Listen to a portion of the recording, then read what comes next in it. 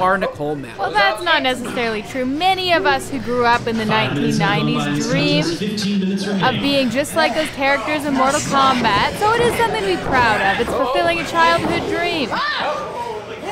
Don't tell us we can't dream, Dave Prazak. I never said that, but throwing fire in people's faces definitely not acceptable. See how it singed one of her eyebrows off? Exactly. I know.